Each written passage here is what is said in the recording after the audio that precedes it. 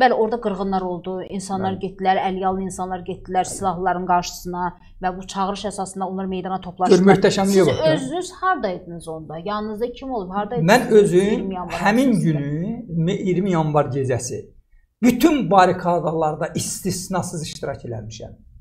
Və həmin qırğın qırğın anında da gəlmişdim mən Milli Müdafiə Şurası yaratmışdıq Səttarxan zavodunun Mədəniyyət sarayında. Yəni orada ən böyük qırğın olmuşdu bir 20 yanvar ərəfəsində şeydə bizim Çapayev küçəsindən də gəlmişdilər. Orada bizim zavodda gülləbaron edirdi.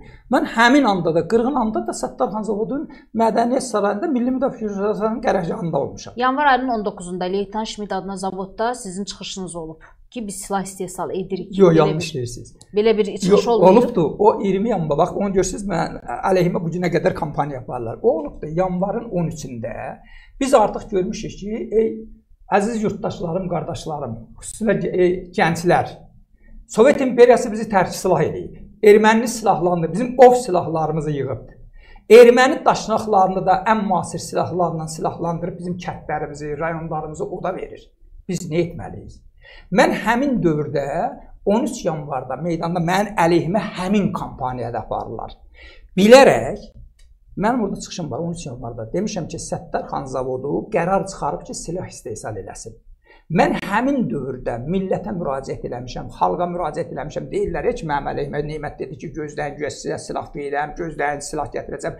Mən xalqa müraciət eləmişəm ki, biz tərk silah durumundayıq. Kimin evində bir ov silahı varsa, kimin əlində bir beş açılanı varsa, versin bizə Qarabağın müdafiəsini təşkil edək.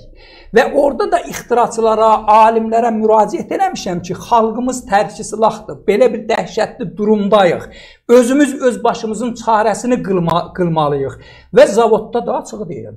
Biz hazırlaşırdıq silah buraxmağa və nəyə nail olduq? Təsəvvür edin, o vaxtı 250-dən yuxarı o şey ov silahlarının içərisinə lülə yığırdıq, 5 atılan patron atmaqdan ötürü qoyurduq. Qumbaralar yəni. O izi azdırmaqdan əslində biz işi, mənim həmin çıxışım taktiki bir gediş idi, KGB-ni azdırmaq idi. Çünki onlar hesab edirdilər ki, Nemət emosionaldır, çıxış elədi, bunu dedi. Biz əslində tamamilə başqa yerdə artıq silahın istehsalı ilə bağlı, bax o sonradan ə, e, şeylər qıratların təməli qoyuldu. Bax, onun təməlini mənim o təşkil elədiyim ixtiraçılar tərəfindən qoyulubdu. Və biz orada artıq başa düşmüşdük ki, tək silahla özümüzü çarə qurmalıyıq, silah əldə etməliyik. Nə etməliyik? 500-dən artıq üçeyni silahlar deyirlər. O vaxt hərbi şeylərdə var, təlim silahları, təlim silahları. Onları yığıb onun deşiyi var. Onu tutursan boyovoy silaha çevrilir. 500-dən artıq avtomatı biz boyovoy silaha çevirdik. 250-dən artıq ov silahlarının içərisinə lülə yığdıq qoyduq ki, beş açılan patronu atmaq üçün. Yəni biz çarə qalmırdı ki, özümüzü müdafiə etməyə. Bəli, həmin 13 yanvarda da meydanda o çıxışı ona görə etdim ki, bütün KGB-nin diqqətini bizim qərarca otururduq Səttarxan zavodunun mədəniyyət evində. Ancaq biz bilirdik ki, KGB addım-addım bizi izləyir də, yəni biz qorxmurduq. Bəs o zaman sizi niyə həbs eləmədilər? Yəni bu cür fikirlər səsləndirirdiniz, dediniz ki, KGB o zaman niyə həbs olunmadınız? Maraqlıdır. İndi şurasındakı həbsdən təzə çıxmışdım da. Növbəti mərhələdə təkrar yox, həbs eləmək olmaz. Elədi də.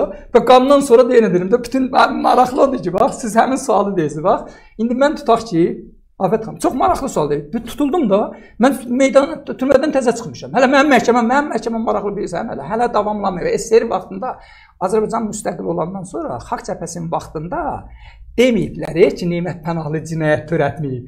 Yazıb mənə bu şəkildə mənim cinayətim bu cür xətm edilib ki, SSR dağıldığına görə, artıq o dövlət olmadığına görə cinayət işi xətm edilir. Xalq Cəbhəsinin vaxtında mənim cinayət işim bağlanıbdır. Təkrar edirəm, deyilməyibdi ki, Nemət Pənahlı cinayət törətməyib, Nemət Pənahlı cinayətkar deyil. Bu şəkildə deyiblər, sənədləri mən də arxivdə saxlayıram ki, yəni SSR dağıldığına görə, artıq o dövlət olmadığına görə bu cinayət işinə xətm verilir. Və 90-dan sonra mən həbs edildim. Bütün SSR-nin anti-təbliğatı kimə qarşı yönəldi? Nemət Pənahlıdan başqa aparın, axtarın, tapın. Bax, gözləyin sizə silah verəcəm. Həmin yanlışdır. Təkrar edirəm. Mən o vaxtı o fikri dedim ki, Səttarxan zavoduna diqqəti yönəldək, ancaq biz tamamilə başqa yerdə görürdük o silah məsələlərini. Hə, onu mənim əleyhimə 30 ildir aparırlar ki, güya mən Güya İsa bəylə Əbülfəz bəy gəlibdi, deyibdi dağılın, gedin, gələcəklər, qıracaqlar, öldürəcəklər. Mən də gəlib demişəm ki, e, bunlar satqındır, xaindir, gözdən sizə silah verəcəm. Belə bir fakt olmayıb. Bir şayə ilə təsəvvür edək. Mən vuruluram. Bütün SSR-nin antı təbliğatı yönəlib Neymət Pənahlıya qarşı, Xalq cəbhəsinə qarşı bax, sual verirəm. Sizə meydanda tutaq ki, 88-ci ildə Əbülfəz bəy bəli təşkilat rəhbəri deyildi, Çənli birincisi həbs edilmədi bunun başa. Bəs 90-cı ildə siz sual vermisiniz. 90-cı ildə Rus imperiyası girdi, Azərbaycanı qan içində boğdu. Azərbaycan Qarbaçov rəsmi şəkildə bəyan elədi ki, xalq cəbhəsində iki qanat var. Bir radikallar, millətçilər, ekstremistlər, bizdə demokratlar, liberallar, ziyalılar. Biz gedirik xalq cəbhəsinin o qanadını məhv etməyə. Sizə sual verirəm. Yaxşı 88-ci 90-cı ildə Əbülfəz bəy həmin xalq cəbhəsinin sədri idi, həm də meydanda Milli Müdafiə Şurası elan edilmiş, düzdür orada sədr müdir söhbət olmamışdı, ancaq Xaliq Bahadırın dili ilə Əbülfəz bəy orada xalq cəbhə Milli Müdafiə Şurasının sədri elan elədi özünü. Sual verirəm. Bəs niyə bu adamlara görə yüzlərlə Rus imperiyası girdi? Bizi qan içində boğdu. Yüzlərlə insanlarımız şəhid oldu. Yüzlərlə insanlarımız yaralandı.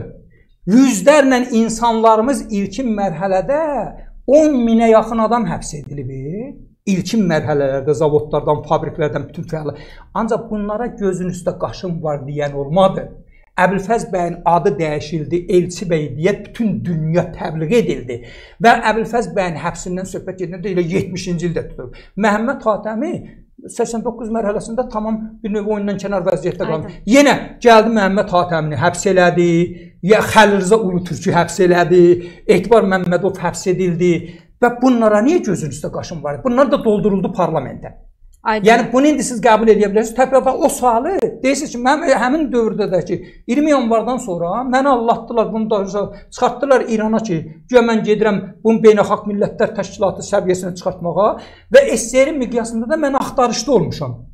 Etibar Məmmədov həbs edilibdir, Rəhim Qaziyev həbs edilib, təkrar edirəm. Məmməd Hatəmi Tantəkin həbs edilib, Xəlilrza unutuş həbs edilibdir. Bəs bunlara niyə bir dənəsinə gözün üstə qaşın var deyən olmadı? Yox, bir cümlə əleyhlərinə təbliğat getmədi. Bəli, onlar da həmin xora qoşularaq bütün imperiyanı atdılar bir tərəfdə. Gəlib Azərbaycanın qan içində boğan Rus imperiyası da qaldı bir tərəfdə. Həmin Azərbaycana xəyanət eləyən Ayaz Mütəllibovlar da qaldı bir tərəfdə. Bütün cinayəti yıxdılar bizim boynumuza ki, Neymət milləti qırğına verdi. Bəli, mən bunu demişəm, bir daha da deyirəm. Deyirlər, sualınızı bilirəm ki, bəlkə də sizdə var, vermədiniz sual ki, 20 yanvar qırğını olmaya bilərdimi? Bu qan tökülməyə bilərdimi? Cəsarətlə deyirəm ki, bəli, Azərbaycan xalqı tökülməyə bilərdi.